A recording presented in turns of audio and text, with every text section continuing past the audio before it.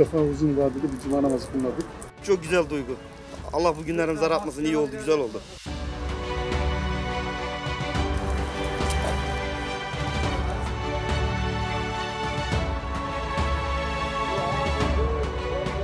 Müslümanlar için, bizler için çok büyük mutluluk bugün. Özledik bugünleri.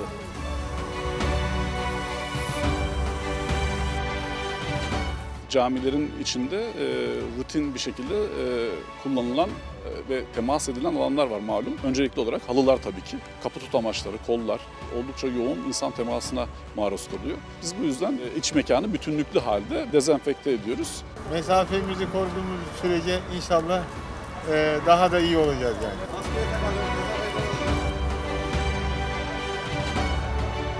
İstanbul'da Cuma namazı öncesi 35 noktada, 35 camimizde maske ve dezenfektan dağıtımı yapıyoruz. Çok güzel yerinde olan bir uygulama yani. Güzel bir Devam ediyoruz. İnşallah devam eder. Olur ya e, unutan olur, getirmeyen olabilir. Çok güzel yani düşünülmüş.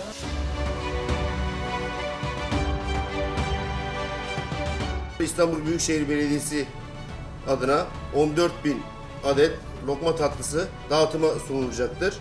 Ee, Bu esnada tabii ki hijyen kurallarına ve sosyal mesafeye çok dikkat ederek çalışmaya devam ediyoruz.